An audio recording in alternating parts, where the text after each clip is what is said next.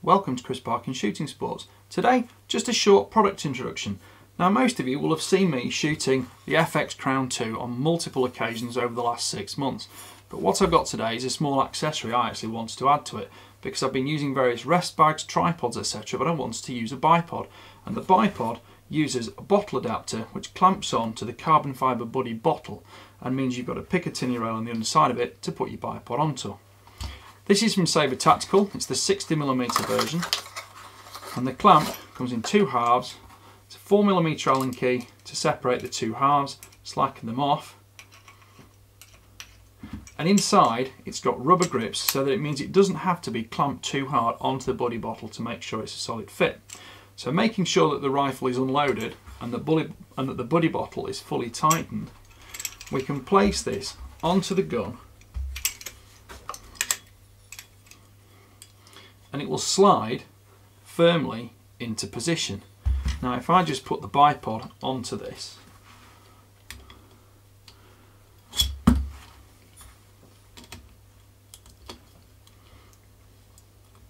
and clip it in place on its quick release I can put the rifle like this and I can just make sure with it slackened off that it's aligned perfectly for vertical so that everything's going to set up nicely and I'm not going to be twisting the rifle too much because that could of course undo the bottle slightly which is why it's important to make sure it's clamped up.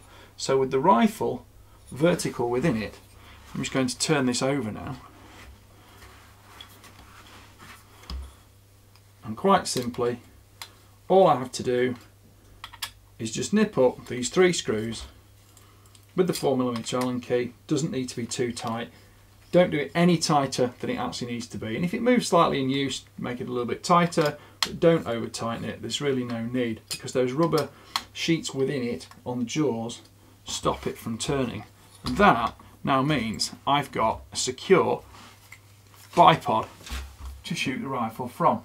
So I'm just going to set this up and get it perfectly as I want it. And of course I've still got the cant availability from the bipod's movement itself and the adjustable leg height, things like that. And the extra length between the front and the rear supports on the rifle just make it more stable.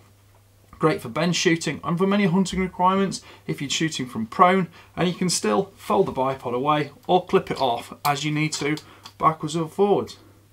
So anyway, thank you for watching. Please like, please subscribe and please comment because your comments are what drive these videos.